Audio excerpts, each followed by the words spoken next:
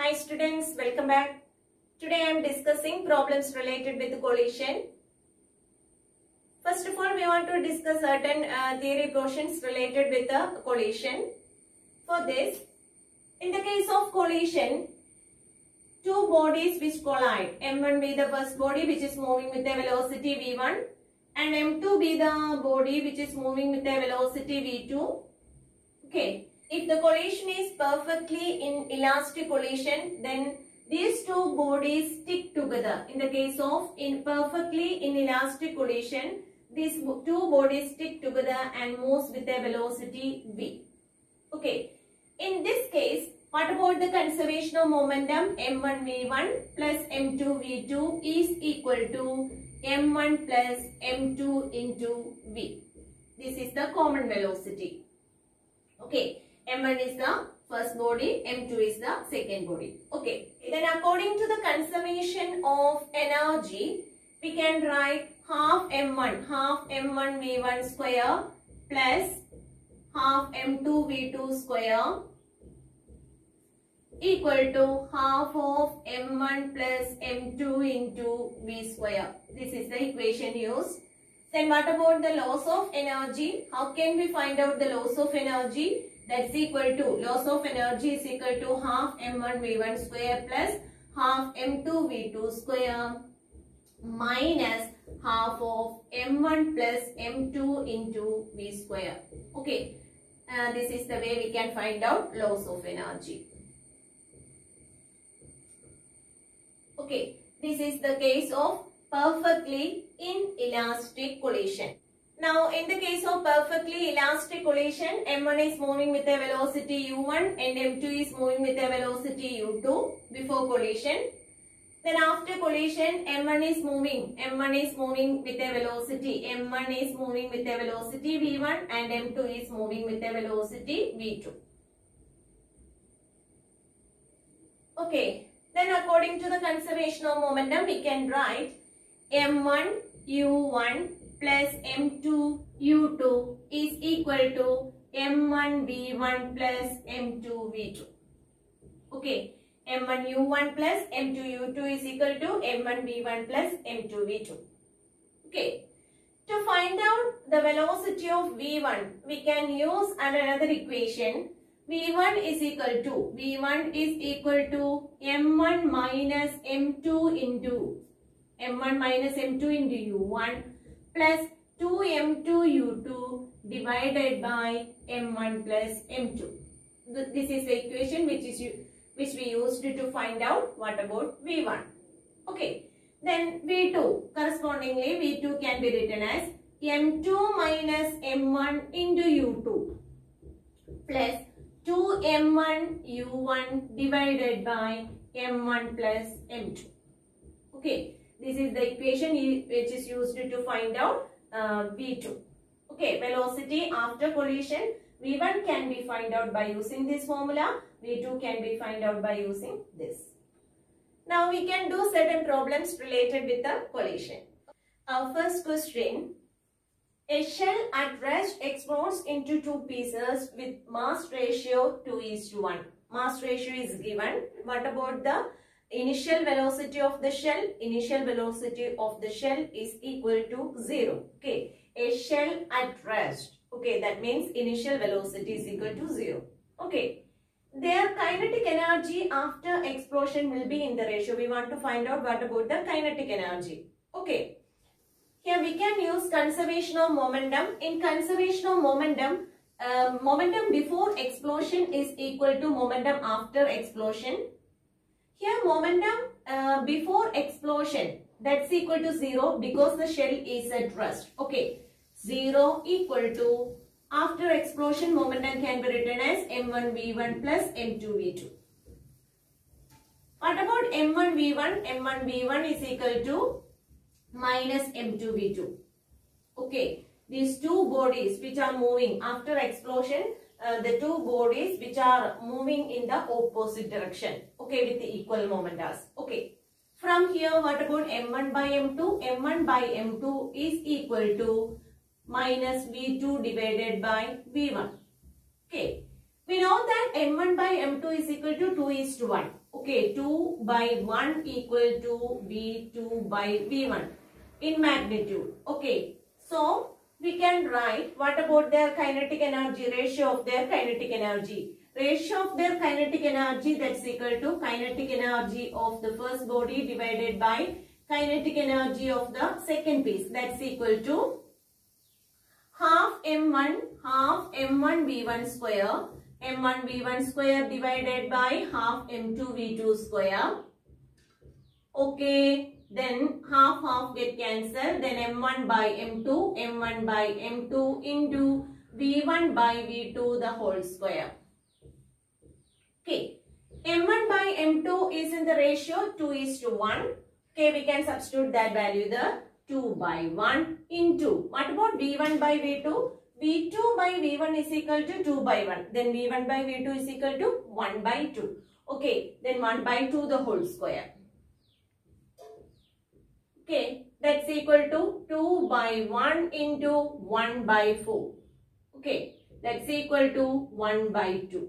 Okay, then what about the ratio of their kinetic energy? Ke1 is to kinetic energy of the first piece is to kinetic energy of the second piece is in the ratio 1 is to 2.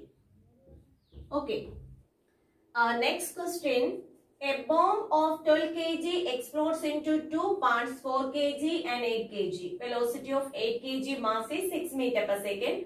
The kinetic energy of other is. Okay. A bomb at rest explodes into two pieces. Okay. 4 kg and 8 kg. Then velocity of 8 kg is equal to 6 meter per second. Then kinetic energy of the other. Okay. Here we can apply conservation of momentum first then before explosion, uh, momentum is equal to 0. After explosion, we can write m1 v1 plus m2 v2. Okay. Then m1 v1 is equal to m2 v2. Both are having same um, momenta. Magnitude of the momentas are same. But it is in the opposite direction. m1. m1 is equal to 4 kg. 4 kg into what about the velocity? We don't know about that. Then we can write it as V1 itself. It's equal to minus M2. M2 is equal to 8 kg which is moving with a velocity 6 meter per second. Okay. Then V1 is equal to minus 8 into 6 divided by 4. That's equal to 2 into 6. It's equal to 12. 12 meter per second is the uh, velocity and its direction is just opposite to that of the velocity of the 8 kg. Okay, in magnitude wise V1 is equal to 12, 12 meter per second.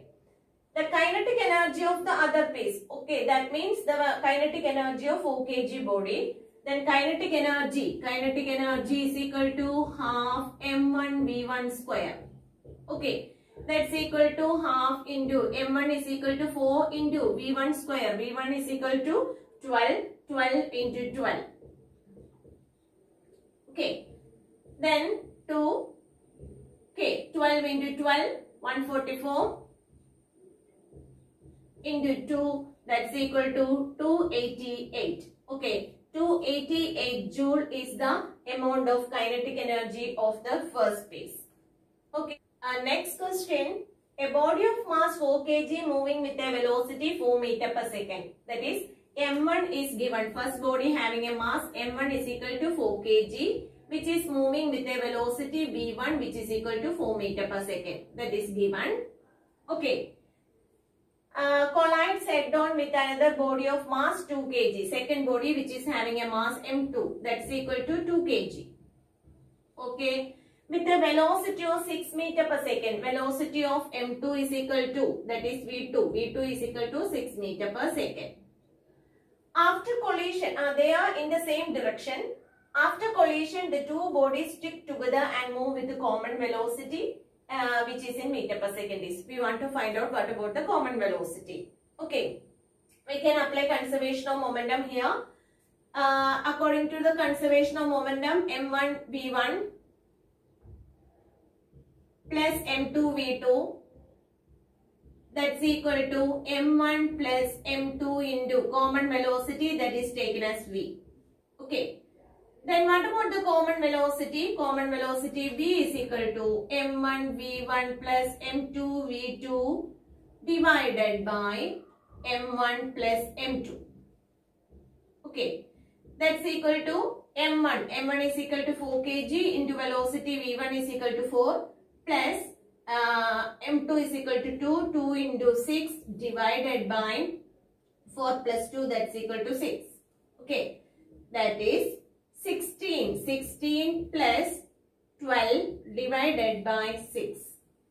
That's equal to 28 divided by 6 equal to 4.67. Okay, so 4.67 meter per second is the common velocity. 4.67 meter per second is the common velocity of the uh, of the two bodies after uh, collision. Okay.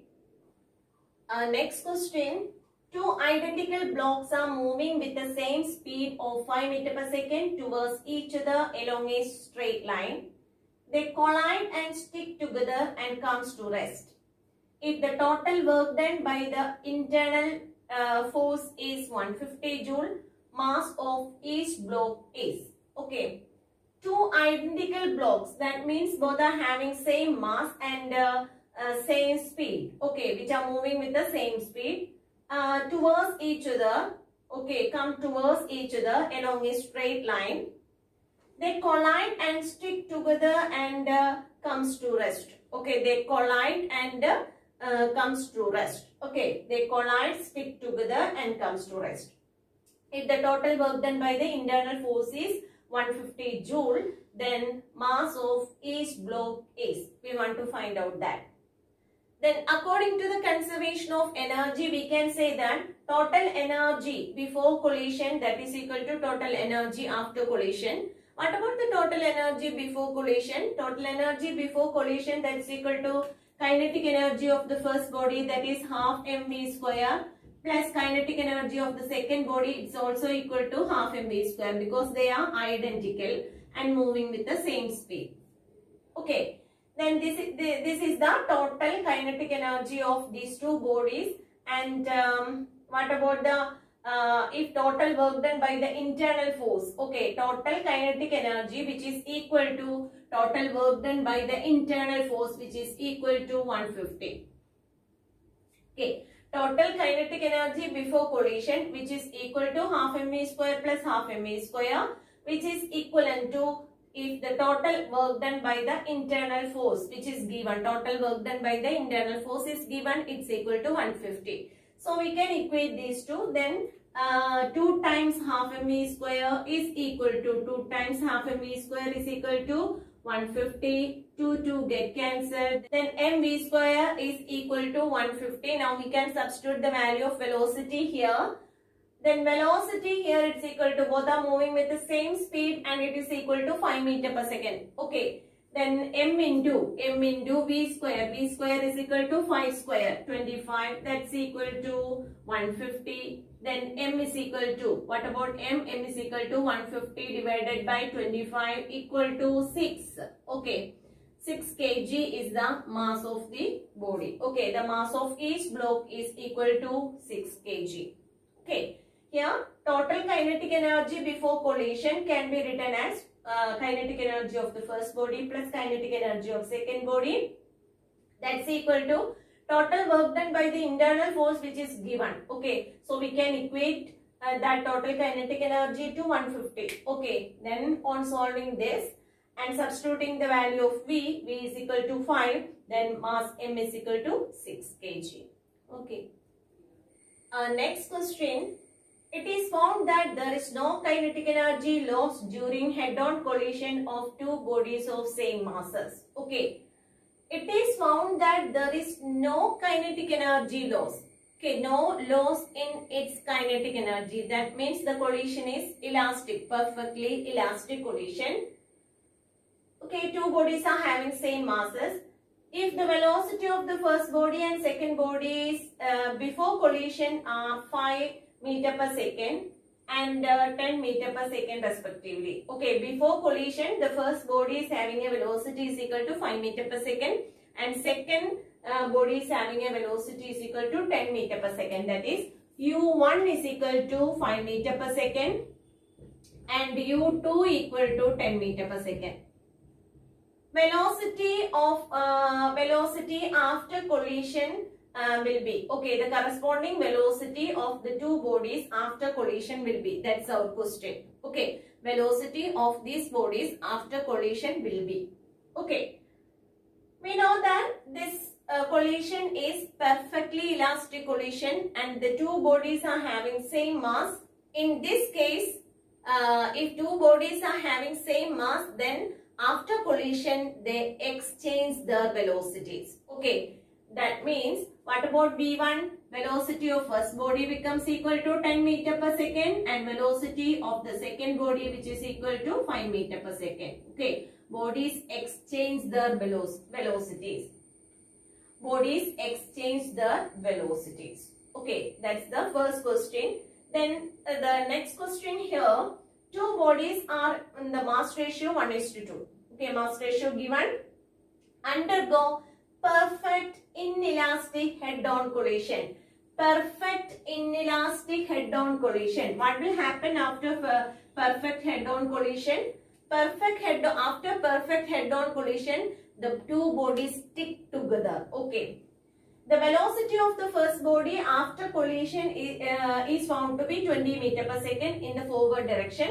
Then the velocity of second body after collision will be. Okay, after collision the two bodies stick together. In the, in the case of perfect inelastic collision, then if the velocity of first body is equal to 20 meter per second, then what about the velocity of the second body? Second uh, body is also having the same velocity which is in the forward direction. That's equal to 20 meter per second in the forward direction.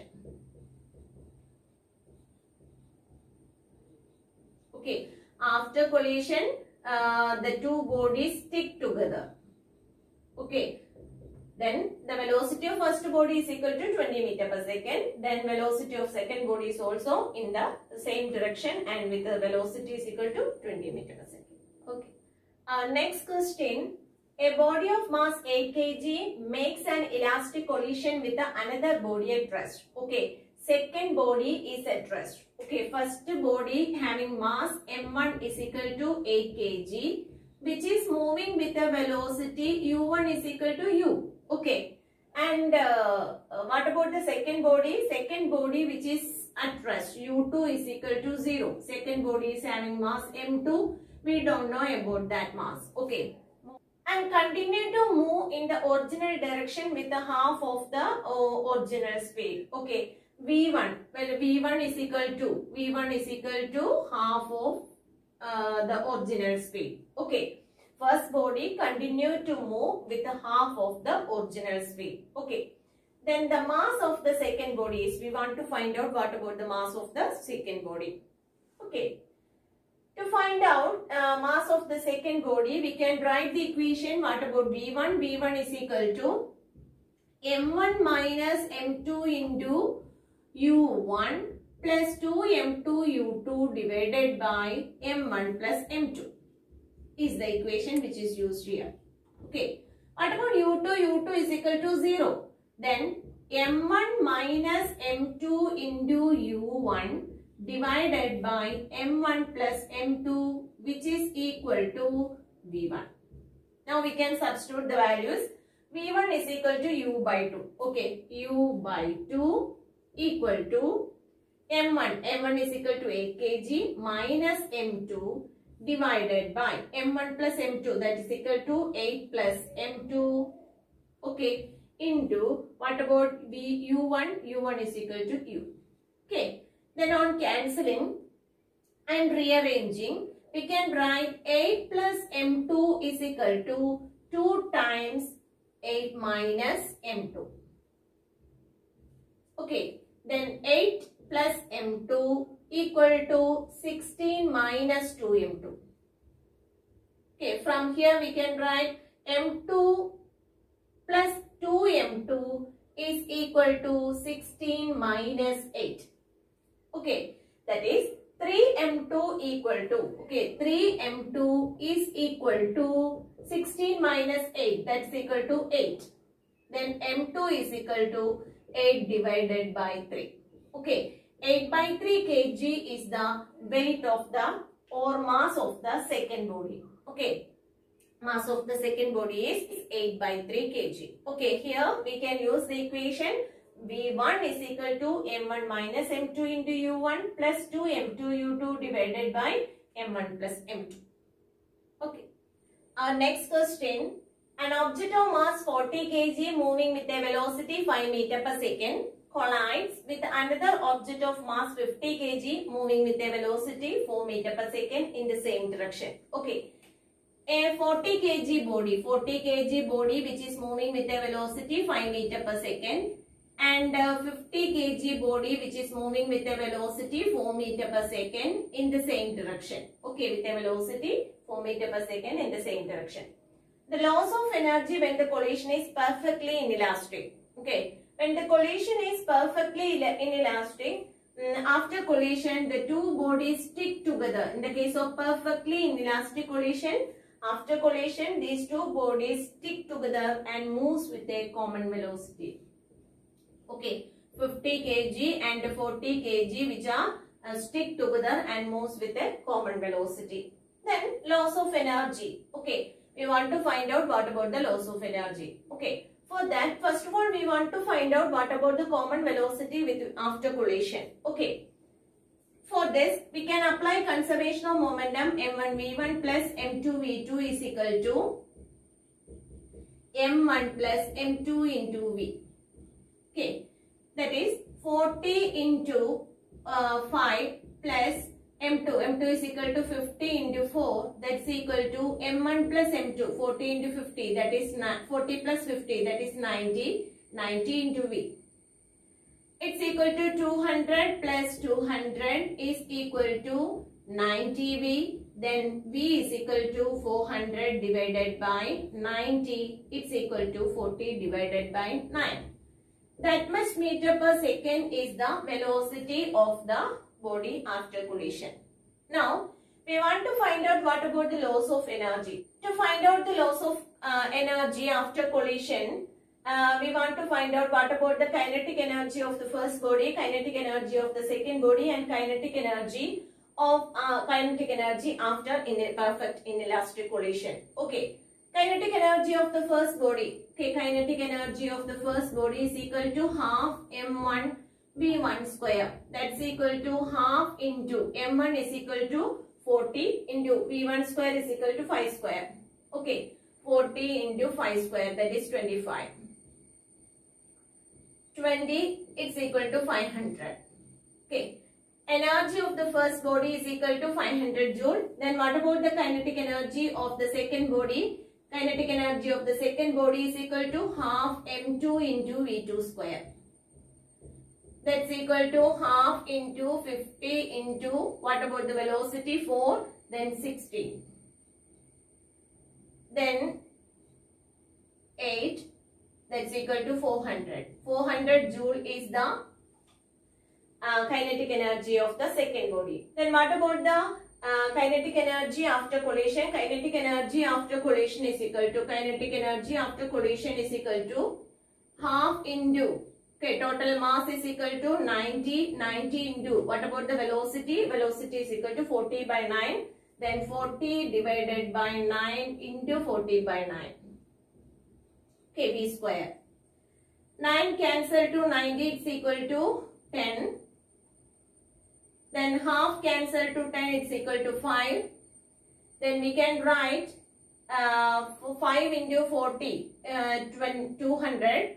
That is 200 into 200 into 40 divided by 9. That is approximately equal to 889. Okay, 889 is, is the total energy after collision. Okay. Then what about the loss of energy? Loss of energy is equal to kinetic energy 1 plus kinetic energy 2 minus kinetic energy after collision. Okay. Then loss of energy is equal to or change in energy is equal to okay KE1 plus KE2 minus K. That's equal to 500 plus 400 that is 900. 900 minus 889. Okay. 900 minus 889 it's equal to 11. Okay. 11 joule is the change in kinetic energy. 11 joule is the loss of energy uh, after perfectly inelastic collision. Okay. I think these questions are clear for you. If you like this video, please subscribe and enable the bell button. Thank you.